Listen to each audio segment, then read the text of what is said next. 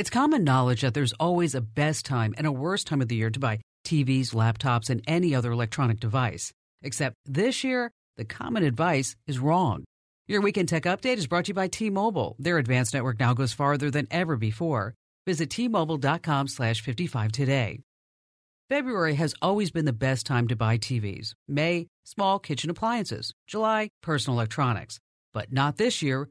The best time to buy any electronic anything that uses semiconductor chips, and that includes most appliances, is right now. The international semiconductor chip shortage is getting worse. Lead time on orders is now 17 weeks, delaying the manufacturing of cars, TVs, gaming consoles, phones, and other electronics. These delays are driving prices sky high for products already in stores. It's the reason prices skyrocketed for used cars. And it's the reason that if you need any kind of electronics, buy now, because it's going to cost you more tomorrow.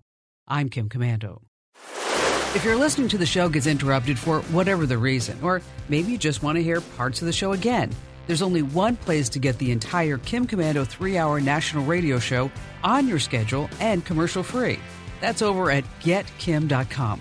Sign up and you'll get months and months of archives of shows too. Just think, nothing but me, all the time, in your ears. Maybe that wasn't the best selling point. The address again, getkim.com.